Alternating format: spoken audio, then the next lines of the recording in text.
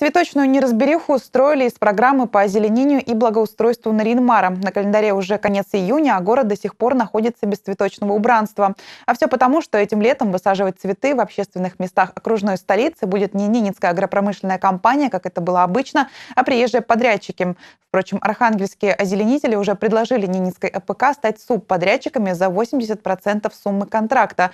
Что же это очередная попытка отмывания денег или попросту недоразумение, выясняла моя коллега Алина Новоучейская.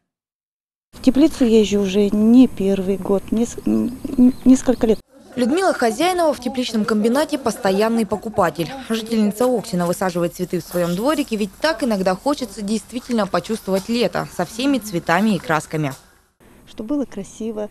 Лето у нас не очень важное на севере. И благодаря работникам, заботливым, умелым, таким э, красивым работникам тепличного хозяйства мы в своих дворах тоже кусочек лета всегда имеем. В теплицах «Солнышко» в этом году непривычно много рассады. Гвоздики, пионы и другие цветы, которые, кстати, этим летом не будут украшать аллеи и памятники города. Ненецкую агропромышленную компанию не допустили к участию в аукционе по благоустройству. И как бы смешно это ни звучало, из-за одного слова – Единственная наша ошибка, по которой э, нас отстранили аукцион,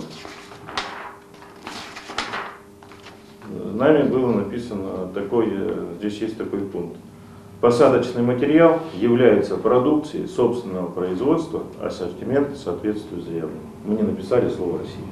Впрочем, по факту аукциона как такового и не было. Из четырех поданных заявок три были отклонены. Конкурс выиграло общество с ограниченной ответственностью «Стройком». Цена вопроса 5 с небольшим миллионов рублей. Архангельские хозяйственники сначала решили не браться за облагораживание территории Наринмара и предложили агропромышленной компании стать субподрядчиками.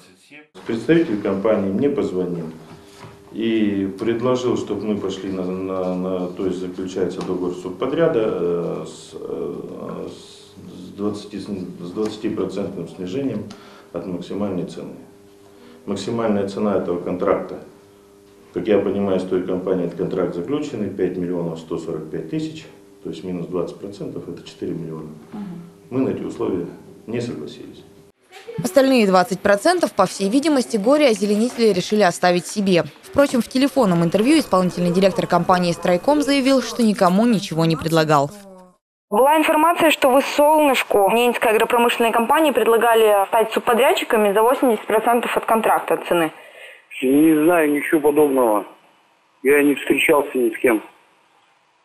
А, ну просто телефонный разговор нам сказали. Был такой, что вы звонили и вот предлагали? Не знаю. У меня не было таки, такой информации, чтобы...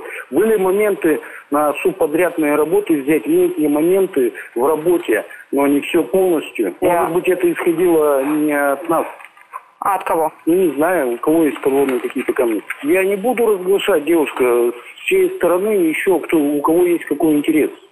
Судя по оправданиям директора стройкома, заинтересованные лица все-таки есть. А что же на эту историю думают заказчики? В чистом городе, как всегда, от интервью сначала отказывались, мол, вечно мы делаем из руководства этого предприятия дураков. По словам директора, они недовольны тем, что конкурс выиграла сторонняя компания. Аналогичная история уже случалась в 2012 году. Тогда иногородние подрядчики высадили цветы, спустя две недели они завяли. Получается, деньги попросту зарыли в землю. На вопрос о том, когда же все-таки начнется озеленение, директор чистого города разводит руками. Я не могу сегодня сказать, как я могу сказать, когда они будут озеленять, если они не знают, кто такие. Они ко мне со мной не встречались, не разговаривали. Что я за них буду говорить? Вы же сказали, что Чудачный сказал, что Петрович сказал, что они хотят у них все подряд взять. Какие-то там условия им ставят. Ну, они отказываются а, от этих условий. А как будет компания озеленять? Может, они приедут Я не знаю, я не знаю как. Ну, есть вы же проводили конкурс. Мы проводили конкурс, там написано, То есть вы чтобы, отвечаете за озеленение чтобы города, мы, чтобы они до 10 июля все высадили уже.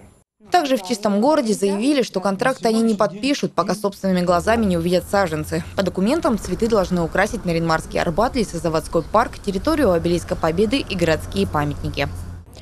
Пока же эти памятники украшают искусственные цветы. Ну а самая главная загадка в этой истории, когда же начнется высадка живых саженцев. По контракту эти работы должны быть выполнены в срок до 10 июля. Впрочем, учитывая тот факт, что саженцы еще даже не отправились из Архангельска, а доставлять их сюда будут на барже по морю, и на это уйдет как минимум три дня, неизвестно, успеют ли архангельские озеленители в срок выполнить работу. Алина Волчейская, Александр Дуркин, телеканал «Север».